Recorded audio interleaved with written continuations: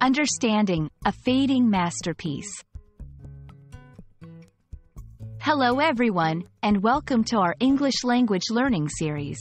Today, we're diving into the beautiful and somewhat melancholic phrase, a fading masterpiece.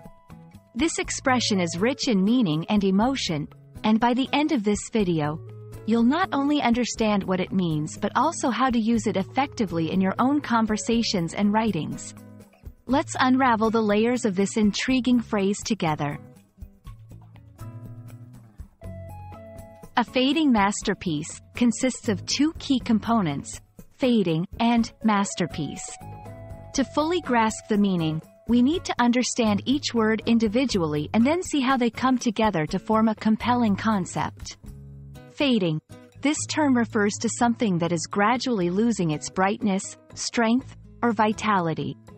It paints a picture of gradual decline or diminishment over time. Masterpiece. A masterpiece is a work of outstanding artistry, skill, or workmanship. It's often used to describe the best work of an artist or creator, something that stands out due to its excellence. When combined, these words create a powerful image of something that was once of exceptional beauty or quality but is now slowly losing its luster or excellence. The phrase, a fading masterpiece, is often used metaphorically to describe something or someone that was once great or beautiful but is now in decline or not as impressive as before. It can be applied in various contexts.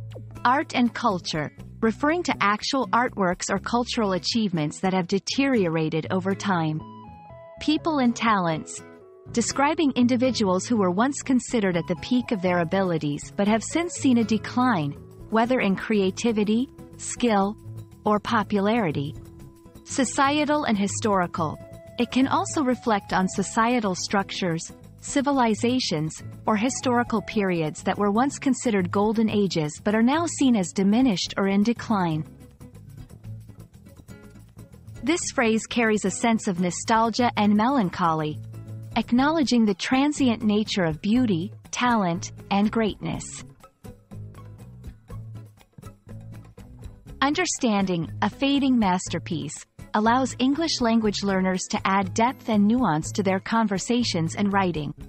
Here are some examples of how it can be used. In literary analysis, this novel is like a fading masterpiece, once celebrated for its innovative narrative but now overshadowed by more contemporary works. In everyday conversation, watching the once great athlete struggle in his late career is like witnessing a fading masterpiece. In social commentary, the ancient ruins stand as a fading masterpiece of a civilization long gone, reminding us of the impermanence of human achievements. The phrase, a fading masterpiece, beautifully encapsulates the concept of decline from greatness, imbued with a sense of nostalgia and loss.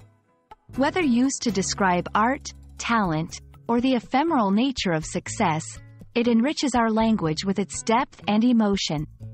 We hope this exploration has helped you understand and appreciate the complexity and beauty of this phrase. Thank you for watching, and remember, language is not just a tool for communication but also a way to connect deeply with the world around us.